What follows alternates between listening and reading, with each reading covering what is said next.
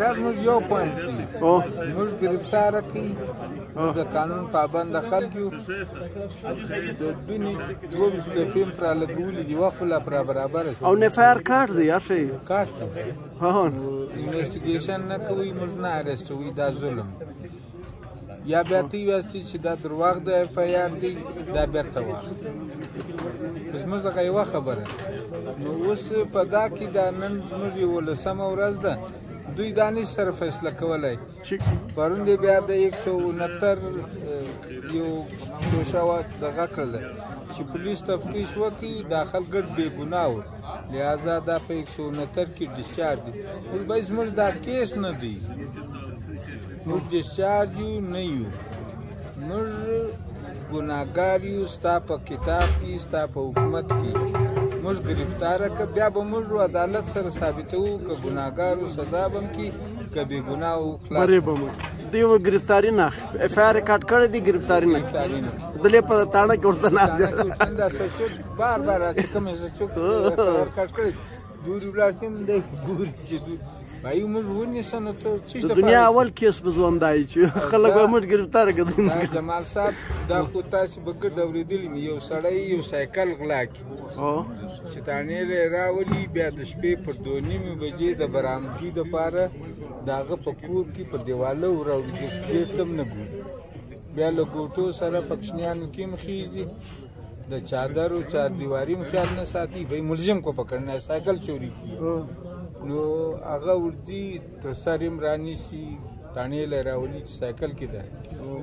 نو الته خو دغه کاروایی کوي او دلته دی ورته ناس ولس ایم پی ایز او دلته ناس چې لاسم د نورج بابات کړي راواچوي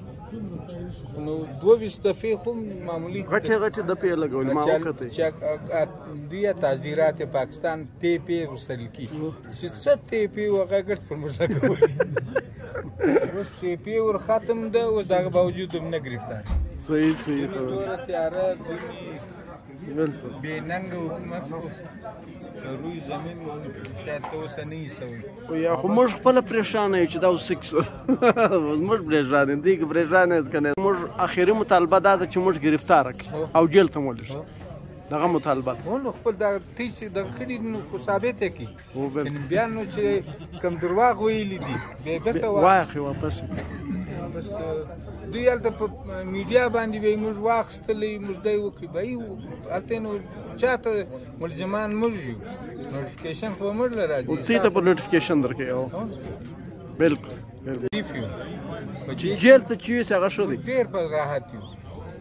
یعنی موږ ټوټل دو نیمې ګنټې خوب دي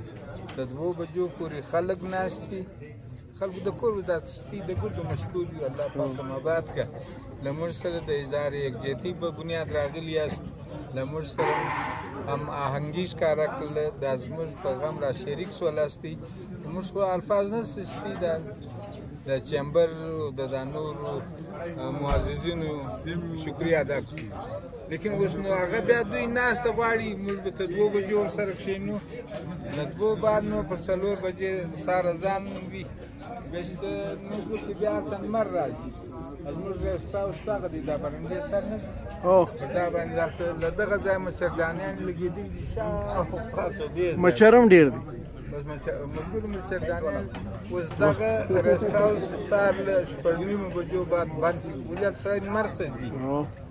دلته چې راسو خلک دي نو بس لمانځه بعد بیا ګډ ناست یو بیا د شپې ته دوه بجو دغه یو آرام یو باتروم هم دی لین ورته لګېدل پنځلس دغه اوس اوس جیل ولاړ شو دا هر یو خپل سټیټس لري کلاس وی آی پی او بی او بی کلاس ورکو کمره به یوازي باغ کې به د فروت کې ځای وي د کتاب درخستلو ځای وي د منځه د کولو ځای وي